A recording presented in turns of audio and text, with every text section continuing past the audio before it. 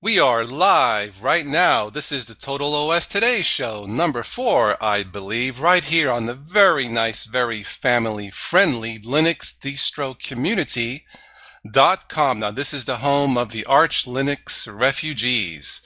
Uh, Spatry, are you familiar with the uh, with that wonderful rock band, uh, Tom Petty and the Arch Breakers? you are absolutely nuts. But I did give somebody my condolences for wanting to try out Arch earlier this evening.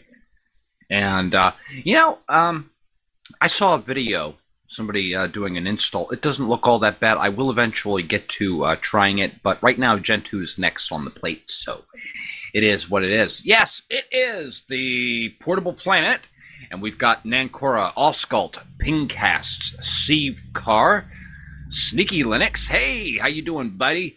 Uh, myself, Total OS Today, and William Generic. Back to you, Total OS Today. Thank you, Spatry. Yes, okay, we are talking about the A Portable Planet, the portable communications. We'll be talking a little bit about smartphones, tablets, netbooks, laptops, and, and, and in pre-show chat, somebody mentioned Ultra books, so we may even sneak that in too. All right, what I'll do is let me get started on the uh, on tablets, netbooks, and laptops. Just a brief description of each, and then we'll just go down the list as far as guests go. Of course, you're welcome to chime in about smartphones and ultrabooks also. All right, first up we have tablets. Uh, tablets are generally 7 to 10 inch. They have a 7 to 10 inch touchscreen interface. They are terrific for reading uh, ebooks. They use it. They utilize um, smartphone operating systems technology such as Android and iOS. They have integrated Wi-Fi, and of course, you can browse the web and play games. Next up are netbooks. Now, these are going to be a little bit larger, usually up to a 12-inch uh, screen size. They are a clamshell type of design. They have a physical QWERTY keyboard. And I, I think the first netbook special, we have talked about this briefly before. I think at one time they both had, uh, some of these were had the capability to dual boot Windows XP and Linux and they generally have a longer battery life than laptops. And finally, well, not finally, but the next thing on my lips uh, list, not lips, uh, would be laptops. Now, these are the, larger, the largest of the three uh, communication technologies here. Now, these the current state of laptops, I believe they can go as big as 18 inches which I guess is terrific for gaming, watching movies, and multitasking. Unlike tablets and netbooks, netbooks they do have built-in uh, DVD, Blu-ray, or CD drives. Uh, they have a full physical QWERTY keyboard. Uh, the one nice thing about laptops, they generally, you can put in a lot more uh, media on your hard drive. I think they max out at, a, at 100, uh, I'm sorry, 750 gigabytes, although, although at today's stage, there may be more than that. So let's go down the list here. Nankura, what can you tell us? What are your opinions about portable technology? Well, basically, um, I think portable technology is a, is has been quite a break uh, breakthrough from the old phone and cord. Like, I mean, I remember back when I was a kid, I used to have to dra- drag the phone and the cord to the couch just to just uh, sit, uh, sit down and listen or talk uh, with the conversation. So it's it's, it's definitely um, an innovation and a step forward in technology. Oscailt. Yeah, handheld devices are the the future, as people say. In this day and age, people are moving about, so we can't be hogging along our big desktops with our graphics cards and coolants and we can't do it. So we need uh, smaller devices, and we have the mobile phones, the iPads, the Kindles, the laptops, and mobility is great. Without it, there wouldn't be a lot of people who could do their jobs. A lot of people need handheld devices to do their jobs, so for that reason, I love handheld devices. Oh man, the dark ages of portable technology, the uh, the cord and the phone. I remember those days. Uh, how times have changed. Now our now our phones can bake pancakes for us.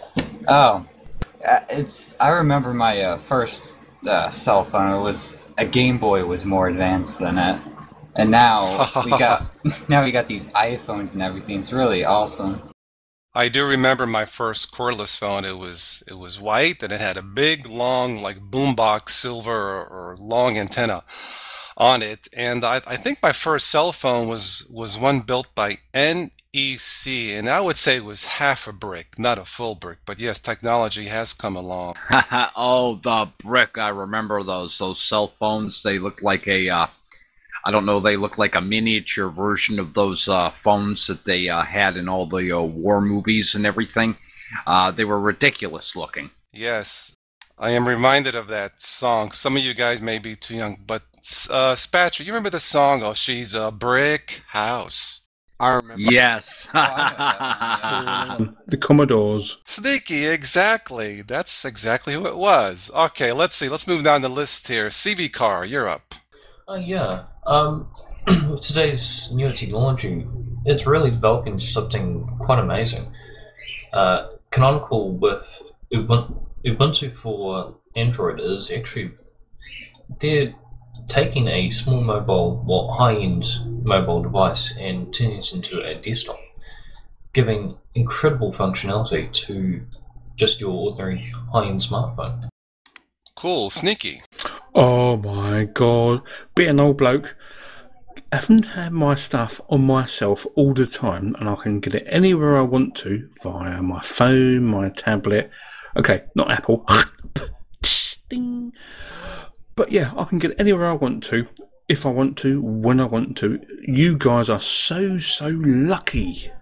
I remember the old days. Just want to put this out there when when I was a gamer, I used to go to my mate's place. I remember the hell of having to put the computer in the car, tie it up, the monitor, and drive everything over, get it out. It was just a pain. now, now is just it's it's in your hand. Everything is in your hand. And for somebody like me, who's quite a lot older than most of you, maybe not some of you, but I can get everything in my hand.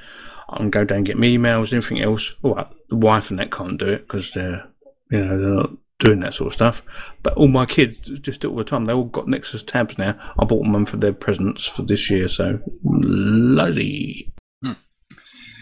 All right. Um, I I remember when those netbooks came out. I was working at uh, QVC, all places, you know, the home shopping network, that sort of thing, and they were advertising those yep. on TV and that sort of thing.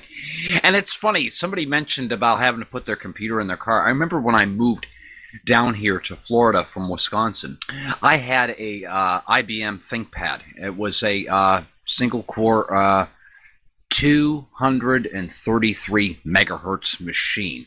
I had my uh, I had my C- Honda CRX so loaded with stuff I couldn't see out the back windows. So what I did was I actually hooked up a webcam and I had that out pointing out the back window of the car, and I had the laptop in front with me so that I could see behind me in the car because I had it so loaded up. I, I, I kid you not. I kid you not. I did. I had this. I had this notebook set up. Oh my goodness! Don't ask me how I pulled that one off. But it's really amazing to see uh, how the uh, netbooks themselves evolved because the first models that came out, I think they only had like four gigs of um, SSD RAM in them. And uh, my uh, most recent netbook that I had, that had a 150 gigabyte hard drive and it was very well capable of dual booting um, both Windows 7 and uh, Linux, which is really interesting. And so, I mean, in my opinion, I think netbooks are pretty much full featured computers minus the optical drive. Um, which you can easily get. You plug one into the USB and that sort of thing. But also, my experience with the netbooks are is pretty much they're cheaply built, you know, and uh, you know this kind of technology. Obviously, it's priced at a low uh, price level because obviously it's not going to last as long as something that you would buy uh, that would maybe that you would maybe get five or six years out of. So pretty much every all these things are priced at a disposable level. You know. Boy, it sure seems that way. William, what can you tell us? I've seen portable computers, but mainly the laptop. All I had to do is take mainly the laptops is what of one of my least things because it doesn't plug everything. I have to put everything in a bag and take it on the go. But a smaller computer will do just fine quickly. Yeah, you know, I've been thinking about this. I just picked up my very first uh, tablet, a 7-inch Pandigital tablet, and we will probably do a future show just on tablets. But one thing I noticed about the tablets, even if you have a full-featured, expensive tablet, I don't think it's a replacement for a full-featured desktop, especially doing uh, especially doing the things that we do, you know, multimedia and stuff like that. So I think as far as tablets go, I think it's more as, oh, probably more as an accessory to what you have. The one thing I do like about tablets is it has much better battery life than a any smartphone. So for example, if you do a lot of texting or play music or browsing the web, in my opinion, uh, I think a tablet is the way to go versus a uh, smartphone. Spatry, you have uh, we, we we spoke about this before, but do you use your smartphone a lot, or mainly just for talking, Spatry? I uh, I have an application for just about everything on it, and it could actually qualify as almost like a uh, personal computer. As a matter of fact, I have two of them. I still have my old uh, Windows uh, mobile phone, which uh, is an HTC Excalibur. And uh, believe it or not, I actually have DOS running on that thing, and I've got old DOS games running uh, on that handheld. And I mean, it's funny because I mean, it's like having a small little handheld computer.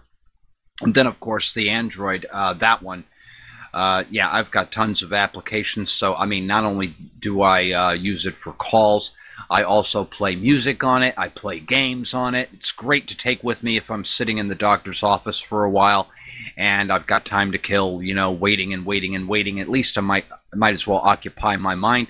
But are these uh, portable devices good for uh, doing other things such as multimedia and that sort? Uh, while they do have the capabilities to record uh, multimedia and film and that sort of thing, really not at a good quality, and you you really can't do much in terms of video or graphics editing on them. You really need a desktop. So yes, it's it's great to have to complement the hardware that you already have at home, but really insufficient for uh, doing uh, much else. Totally agree, Spatry. I use, uh, in the, in the past few days here, I use my tablet mainly to check email and to play music for hours and hours because the the the, uh, the battery life, at least in the tablet I have, just playing music with the Wi-Fi off, I can probably squeeze out between six to eight hours for this rather inexpensive tablet that I bought. Yeah, easy. Right. Yeah, you could easily. Um, uh, I you know uh, on my device there was a there was a job I was uh, working where I was allowed to wear headphones all day and I mean, I would listen to music for eight hours nonstop, and I would still have more than half of my battery power left over at the end of the day. So, I mean, uh, the, yeah, the battery power is really great on those devices. But just something to keep in mind when you're when you're uh, using a device in such a manner, it is wise to shut off Wi-Fi yes. because that does eat up a lot of battery power. And you want to uh, there there is a um, there is a program for that called Juice, I think, or something like that uh, that will allow you to manage uh, the uh, that you have running so that you can get longer battery life out of those handheld devices. So I highly recommend you check that out. It's in the Android store somewhere. Cool, thank you. Um, Sneaky, did you say that you have a tablet? Yeah, we have four tablets in the house. And in my personal opinion, and some of you may not like this, they are, at the end of the day, just media devices. They are not full blown computers, okay? You can check your Facebook, you can do stuff, you can send emails, you can do basic stuff, but can you do anything else? End of the day, unless you've got a Tegra 3 with the four cores, not really. Yeah, I would have to agree. The new hot selling tablet is, is the Google Nexus uh, 7 tablet. I believe that is a quad core, so that can probably do a little bit more than a standard generic tablet. But as far as a full blown computer system sneaky, I think I'll stick with my uh, desktop here. Now, in um, before in pre-chat, some of us had talked about, I'm not sure who it was, if it was Nankura, Oscailt, or Pingcast. One of you had mentioned that one member of your family or two didn't like all this technology. Who mentioned that? Uh, that was actually me. It was it was actually a friend of mine, a really close friend, and um, she's about 34 years old, and uh, she uh, like she she had a smartphone for a while, and she was using it, and then she, one day she had her old phone. I was like, what? What happened to your smartphone? She goes, I don't like it. I don't like having to go into the menus, press buttons, touch the screen. She said it's just too complicated. She said she actually found her old little Samsung a lot easier. So I guess the question is, guys, it, when is technology as cool and as fun as it is? When is it? When does it become a little bit too much? Well, I was going to say also a lot for that one because he is the uh, terminal guy. uh, when is technology going to be too much? I suppose when we start having uh, uh, biomedical implants put in, and uh, the next thing you know, I mean, I, I've seen the Google HUD, for instance, which is these glasses now. I guess they're um, Bluetooth or something like that, which now will give you a heads-up display and that sort of thing. But I, I, I can, I can just see it in the coming years. They're going to start having implants, and you know, people are just going to be uh, tapping the side of their head or something like that, and you know, getting phone calls and that sort of thing. And it, eh, I don't know, but um, uh, I, I, really don't know how to best answer that question. I, I think, uh, um, uh, you know, there is a lot of good technologies out there, but the thing is also uh, they can be abused as well. Too true, mate. Too true. Yes, I, I know Spatry's waiting for the combination smartwatch, shaver, clipper, toaster, and all that, right? Yeah, we've got the prototypes lying around here somewhere, don't we? Don't you dare turn that on, I'll kill you. okay, William, can you add something else to this? Well, unfortunately, I think pretty much technology is very good and handy, but I think just there should be some minor adjustments to the technology part. Such as? Like, we shouldn't really have to have a heads up display thing. Like, we really shouldn't. I mean, kiosks or something that has the Google, like, not literally like Google heads up display, something that we don't have to wear on our heads, but something we can just walk up to and touch. Whoa, whoa, whoa, whoa, whoa, whoa, whoa. Yeah, sneaky. Well, I just bought a new car, right? And I'm going to slag me off it. I just bought a new Prius plug-in, okay? And I've got a head-up Cool. display on my car, okay? It's head-up on my windscreen, and I can do everything from windscreen without looking down from my stuff. You know what I'm saying? Sneaky is the car then the features of the car, so you would say it's very user friendly? Well, no, it's not just that. It's just when I'm driving the car, I know a lot of you won't like it because I bought a Prius and it starts saving the wheel, blah, blah, blah, blah, blah, blah. But when I'm driving, everything is on the windscreen. I don't have to look down. And I'm, do you know what I'm saying? So it's practical, right? Very. Nothing wrong with that. So you are basically a safer driver, yes? Of course, and I'll get 135 miles to the gallon. Now that's my kind of car. I hate gas stations, but don't tell anybody.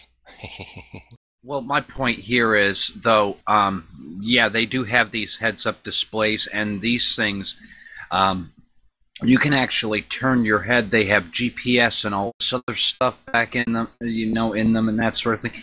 And you know, I think I think we have enough technology out there that can easily distract people. Okay, we hear of people, for instance, texting and driving and all the accidents and everything that is causing on a yearly basis. I mean, uh, te- where where they're bringing in uh, technologies that are introducing distraction is a is a is really a bad thing in my opinion. I'll get what you're saying. I'll get what you're saying, but what all I'm saying in the car I've just bought is there's nothing distracted. It's all in what I'm looking at. I don't have to look down, look side, look up. I don't even have to look down to what button I'm pressing on my steering wheel because it's all in my display on my screen. If you get go down to your local dealer, I won't say what manufacturer it is, but you know it is. You'll see what I mean. It's fantastic. It's the best twenty-eight thousand pound I've ever spent. Sneaky, let me just say that uh, the kind of car that you have, I don't, I mean, I have a Toyota. I, I love Toyota products in general, but the, the kind of car, the kind of car technology, technology that you have, I would accept that as a safer way to drive than trying to hold your phone and or text, which to me is, you know, almost suicide. But the, te the technology that you have where your eyes are still on the road, I would accept that as a safer way to drive than what some people do versus driving and and in combination trying to hold a handheld device and talk and text. That's just to me that's just completely nuts. Enough Well, said, mate. Enough said.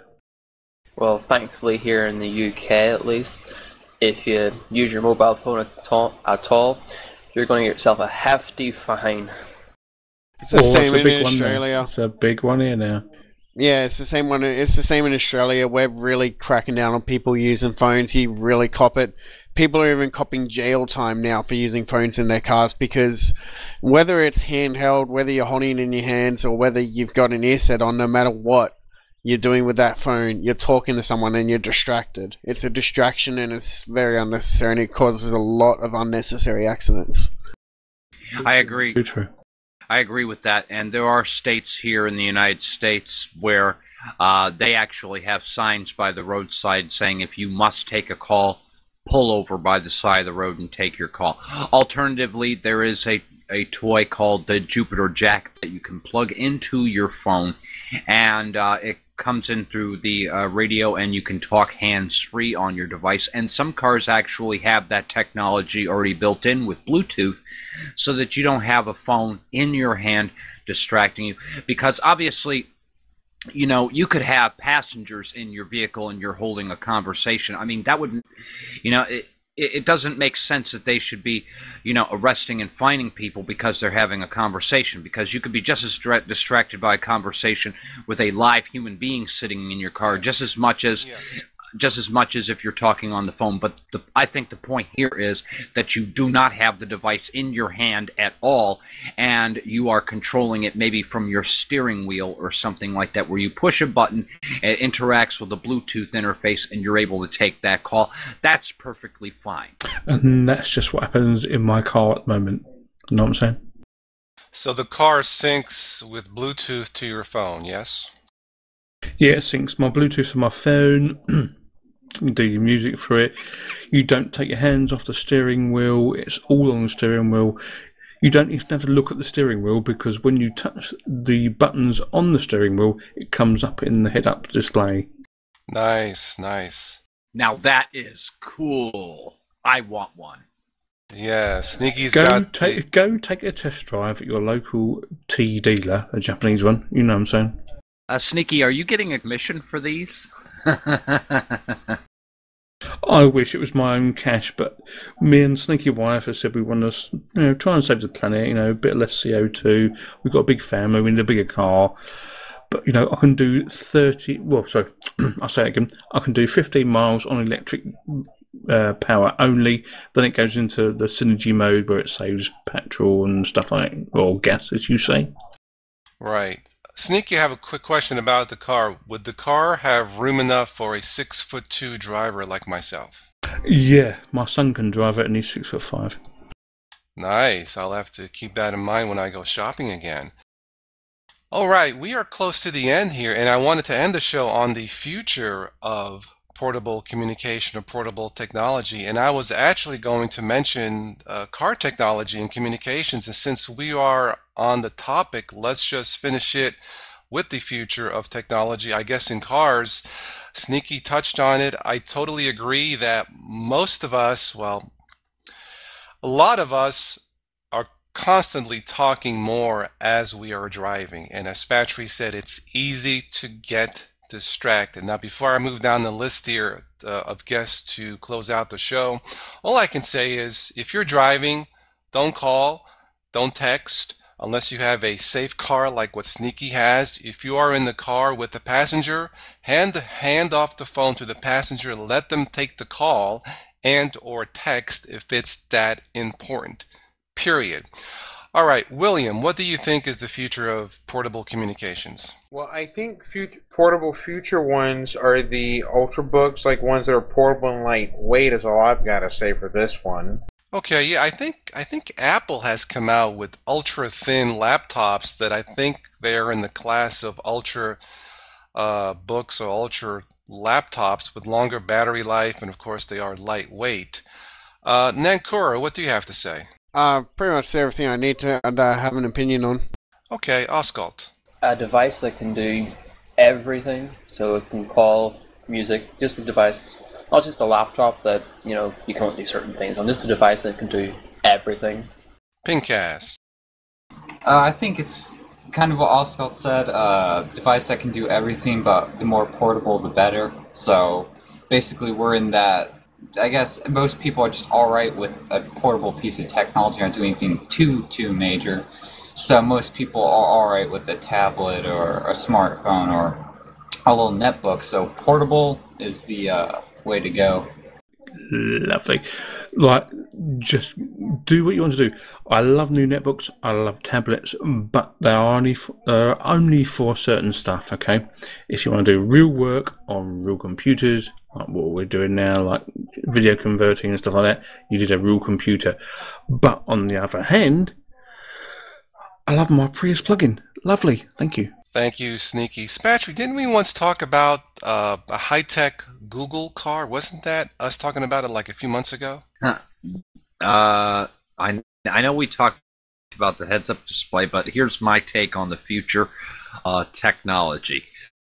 Um, how about how about um, implants that go in the eye? You know, ocular neural interface that's powered by your body uh, to provide you know everything self-contained. You know, no no external units, all uh, implanted, and that sort of thing. Uh, enough to cause distractions in your everyday life, and of course for those that can't afford those ocular implants, there will be uh, there will be uh, vending machines where you can just a credit card, and uh, will you'll have have a sheet of paper that you can pull out and just rip the cover off, and then you know, and then it'll be a throwaway cell phone that you can talk, you know, pass your message and everything, and then just crumble it up and throw it away. So the next time I go to my local vending machine, I'll pick up my candy bar, my can of uh, soda drink, and my extra piece of communication technology, right? Exactly. Yeah, you just pull. You know, it'll it'll. Saw this in a movie somewhere where somebody you know, inserted their credit card into a machine and it looked like a payphone thing. And they got this little piece of paper that came out and they just pulled the thing off and then just dialed, made their phone call, and then threw the phone away. you know, there's there's a there's a new movie out a a redo or an updated version of the movie Total Recall, and maybe they should make a movie called Total Distraction. I think that that's exactly what it is, though. Lots of good technology out there, but too much technology out there to distract people, and that's I I used to build my own desktop computers, and now I just found it's just cheap buy a decent laptop, you know. So pretty much uh, that's where I'm where I'm sitting on it, you know. Well, let me end this by saying that too much of anything is not necessarily a good thing. Gentlemen, our time is up for this discussion. Thank you all for joining me. Nankura, Oscailt, Pingcast, Seevcar, Sneaky, Linux, Spatry, of course, myself, Toss Today, and William Generic. This has been hopefully an enlightening discussion on portable communications, uh, past, present, and future. Personally, I can't wait to see what the future holds. I think this is probably the tip of the iceberg, and I hope it turns out to be more good than distraction, if you know know what I mean. Gentlemen, thank you always. Uh, Spatry, thank you always, and thank you for coming in tonight. I know you are tired, so we will end this now. For all of you listening, join us every Sunday night on the live Total OS Today show. Don't forget, every Saturday night is Spatry's Zoo Crew. And I like to end this show as I do all of my uh, uploads here to the here to the or, or to the YouTube uh, channel.